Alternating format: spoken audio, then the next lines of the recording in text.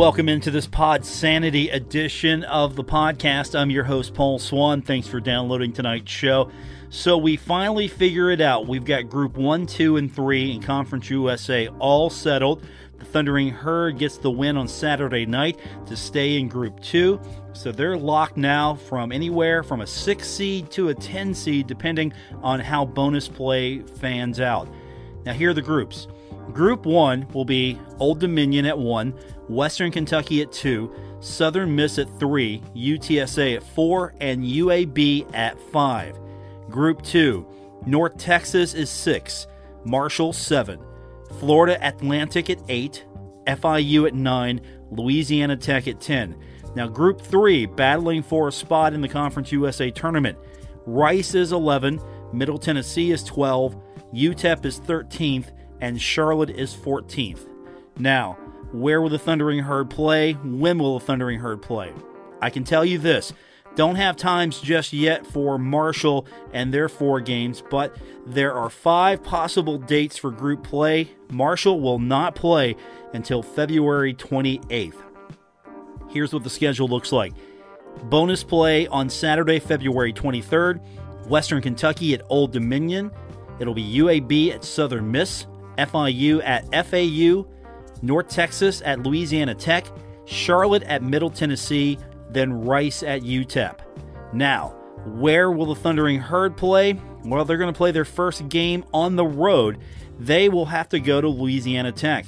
The Thursday, February 28th schedule is Old Dominion at UTSA, Western Kentucky at UAB, Florida Atlantic at North Texas, and Marshall at Louisiana Tech. Then the Sunday, March 3rd grouping, Marshall will also play on that day, features Southern Miss at Western Kentucky, UAB at UTSA, Marshall at North Texas, then Louisiana Tech at FIU, UTEP at Charlotte, Middle Tennessee at Rice. The Thundering Herd returns to the Cam Henderson Center and they'll play on Wednesday, March 6th. They'll be in a group that consists of Southern Miss at Old Dominion, UTSA at Western Kentucky, Louisiana Tech at Florida Atlantic, FIU at Marshall, Rice at Charlotte, Middle Tennessee at UTEP. And then Saturday, March 9th, that'll be the final regular season game for the Thundering Herd. They'll be in the group along with Old Dominion at UAB, UTSA at Southern Miss, Florida Atlantic, they take on Marshall, North Texas at FIU, Charlotte at Rice, UTEP at Middle Tennessee. So that's what the groupings look like, and that's what pod play looks like. Now, Thundering Herd, four games, two on the road, two at home. They won't play for a week and a half. That's pod play. And to recap, Marshall will be in pod play starting on February 28th. That's a Thursday. They'll take on Louisiana Tech on the road. Then they travel to the Super Pit to take on North Texas on Sunday, March 3rd. Back home at the Cam Henderson Center on Wednesday, March 6th to play host to FIU. And then on Saturday, March 9th, they'll play host to FAU. And that's what pod play looks like for the Thundering Herd. I've got a lot to get into as Marshall defeated Middle Tennessee early Saturday afternoon 98 to 93 in that game the Thundering Herd shot 27 to 56 for 48.2%. They were 11 of 27 from the three-point line. That's good enough for 40.7%. 33 of 40 that's amazing from the free throw line. Now, let me temper that. 26 of 32 in the second half. Middle Tennessee was fouling a lot late, trying to at least chip away at the Thundering Herd's lead, hoping that the Thundering Herd would miss a few shots. They sent Jon Elmore to the line late. He was 11 of 11 in that contest, a lot of those coming in the last few minutes. So the Thundering Herd gets the victory. Here's what the hustle points look like. Marshall got outscored in the paint 30 to 40, but that's not too bad. That's not too bad at all. Marshall, they did win the battle of turnovers 21-17, lost the second chance point battle. Marshall only had 13, Middle Tennessee had 34. Fast break points 8 to 2 in favor of the Thundering Herd, and bench scoring Marshall got 30, Middle Tennessee got 11. Dan D'Antoni, a very happy victorious coach felt good. He hasn't won in a while. Here's what Dan D'Antoni said after the contest. Well, it's just good to get a win. I thought we played with the heart and the passion we've been missing for a while. Uh, 55 for them, terrific. Thought we did a much better job second half. We put Jarrod West on him, just dogged him, and uh, I think he made one really, really nice shot. But other than that, uh, I thought uh, Jarrod did a, a real nice job. CJ was strong, and we've been missing that. Jon was really strong at the end, so uh, good game. Uh, God, I get to smile at, at, at night tonight. So good game for the herd, great for the herd, and there'll be a lot of herd fans that get to sleep too. And I appreciate them staying awake during the bad times, but they can go to sleep tonight. It was a good time. So looks good. We just got to keep going. How, how tough is it to play in a game, coaching a game that's so dominated by fouls? There was 50 fouls. You trying to set me There up? was- You know I'm having a good night. They'll end up daggone finding me if I say what it was- is. There was 50 fouls called in this game. Yeah, I know. That's all I can say. It is what it is. You got to play with what it is. Good question. Impossible to answer. I was one, I was a bad student in school. I mean, the hard questions I flunked. Were you a good foul shooter? Huh? Were you a good foul shooter? I was a pretty good foul shooter there. I could beat you. I know that. Well, that's no contest. I know that. That's hey, I don't bet unless I know I'm gonna win. That uh, big, big lift from Darius. Yeah, a big lift, and and you know, uh, you know he, his eyes have brightened up in the last month, and uh, it's kind of what we expected from him all along. Just sometimes uh, life treats you a little unfairly, and you got to get back up. And I think he's gotten back up, and he's uh, doing a real nice job, and uh, he he can be the difference. He and Jon and CJ uh, just making that constant play from your seniors. Help with everybody else, and you got a, a real good chance. What, uh, what was your reasoning for starting him Well, I think you figure out how We lost seven out of eight. You got to do something. So uh, you know what? I, we just need to be a little bigger. Yeah. And, and I put him in. I mean, we, I've asked Rondale and Taevion, a point guard, to do yeoman's duty by being bigs, playing big, and that's hard to go. You know, you can go in spurts, but when you have to go for a long period of times like that, it's it gets tough. So, you know what? Uh, George has been uh, looking better at practice. Uh, he's, you know, I told him, I said, I'm gonna put the keys on the, and this is kind of. Uh, uh, just uh, oh shit, what's the word I'm looking for? Uh, but anyway, it's just I'm using it as a God. I know you know, huh? Metaphor. Is it a metaphor or a uh, huh? Uh, I got to go to Harvard and ask those people. But uh, uh, no, it, it could be a metaphor, but I, I think that's the wrong word. But um, uh, he he needed to do more on his own, and I was trying to encourage him. I used the keys at the end of the ta- desk, and that's what I told my kids. I go, now I'm gonna put the keys at the desk. I'm never gonna make you go to the gym. You have to want to do that. You got to want it. All I got to do is make it where it's available for you. So you know what? He's come a little bit earlier. He's working a little bit more, and that means a lot. Uh, you'd be surprised how fast your games come, especially he's talented. Will come. On the flip side of that move, it, you know, you look and, and Darius uh, has a hustle play on the first possession that, that leads to a, a forced shot, and the first person up off the bench cheering him on is Taevion. And that, that could be a tough situation for a freshman, but it seemed like he handled it. Well, you know what I've, I've told you all along uh, from the very beginning when you asked me about Taevion, I always have told you first and foremost. You know, I saw he could jump. I saw how athletic he was. What surprised me the most, foremost, is what a great human being he is. And uh, he, he doesn't disappoint you. Every time he gets in that situation, he shines by, being a human being. And uh, I guess you think his mother or dad or, you know, I don't know where he gets it from, but, uh, you know, you wish that all of us, all of us were the type of young man he is, and young lady in that case. Uh, Look ahead to this pod play. Don't know anything about the I know that, pod. what, what are your thoughts on the? I don't know. format? I, I don't know. You know, uh, I'm not one, you know, I, I'm kind of a change artist myself. And if you're going to be a change artist or you're going to make things change, you can't predict outcomes or decide they're going to be failures or winners before you do it, or you never do it. You know, so there's no total guarantee about anything. Uh, I don't know what's going to happen. Everybody's in the same boat, you know, so it is what it is. And then after it's all done, evaluate it and see if we need to go forward with it or that'll be it. You do get a week off, that, that might be a good thing. Yeah, for me. And I need about three days, man. I'm tired of Jon talking to me. And I tell you what, I got to see him every damn day. After a while, you just go, sheesh, I need a break. But uh, no, I, uh, you know, it's good for the kids. I, I like I said, we've had a long season. Started Bahamas. Uh, Jon and CJ were active in the summertime, going everywhere. It's a long season, so one or two, maybe even three days won't hurt. We'll see.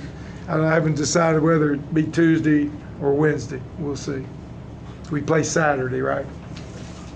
Could be. That could be a We'll bye. know the schedule tonight at about nine. Well, if it's Saturday, that'd give us three days to prepare.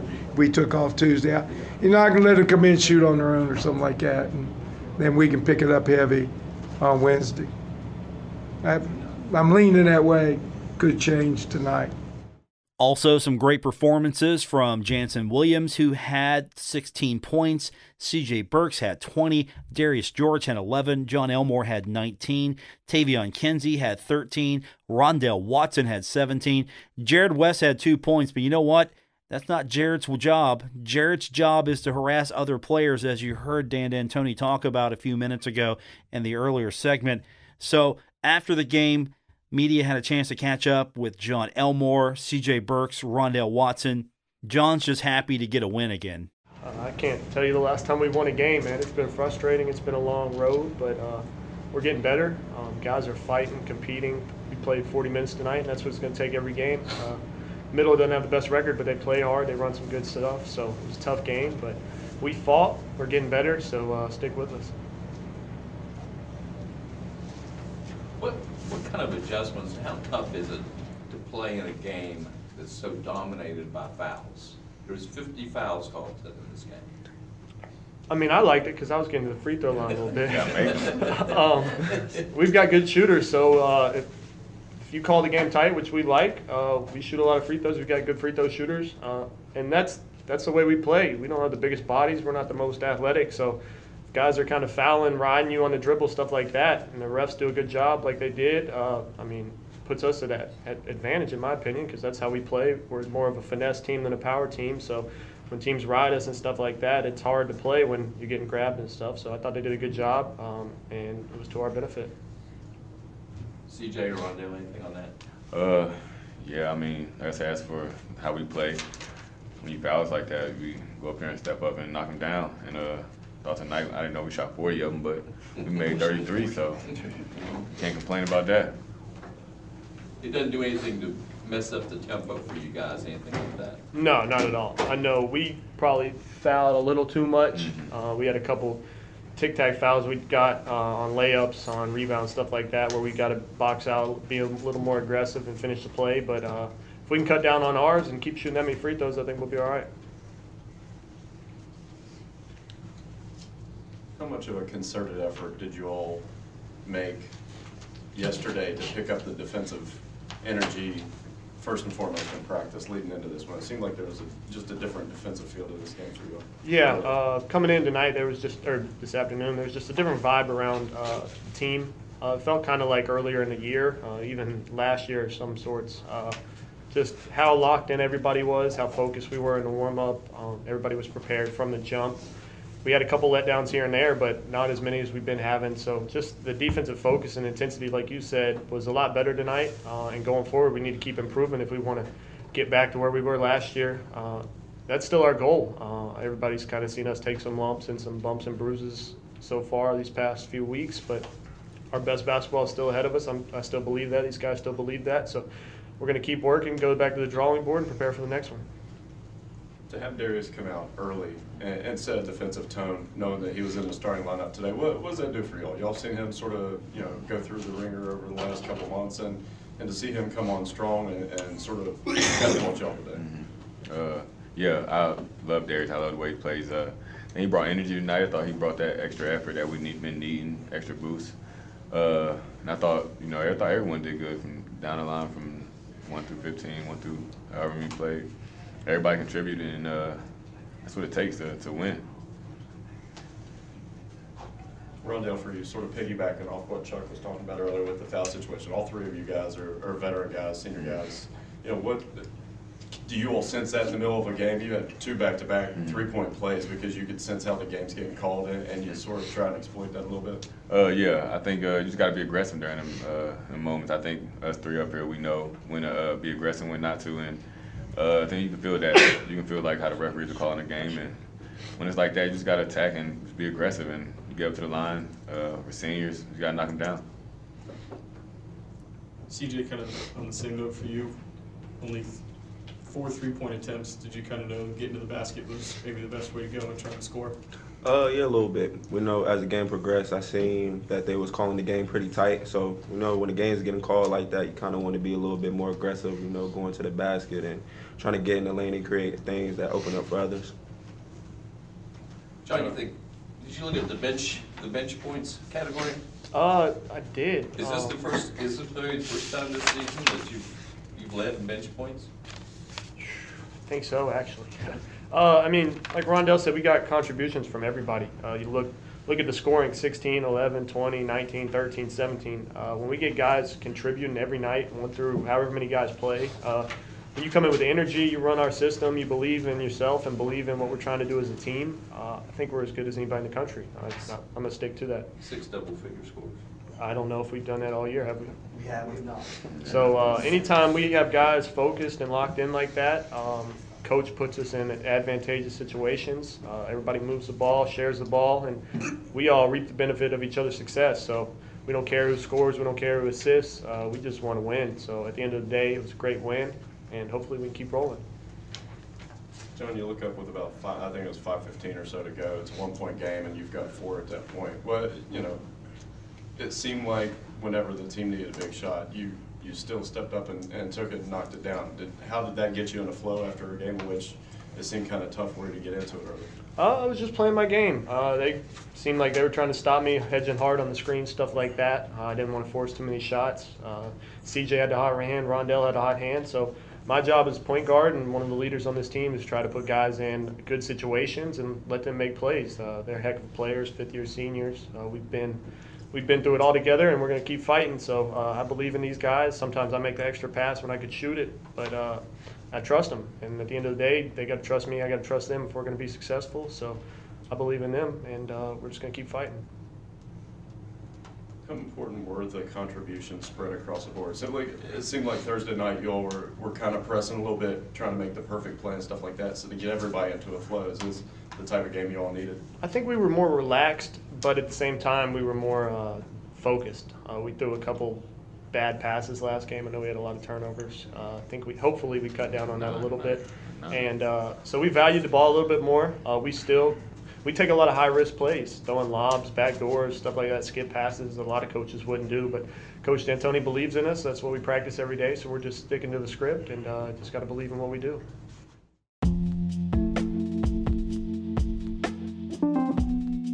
All right, once again, that was Jon Elmore, Rondale Watson, and CJ Burks. Six players for the Thundering Herd and double digit scoring. That was a great performance by Marshall. Lots of points.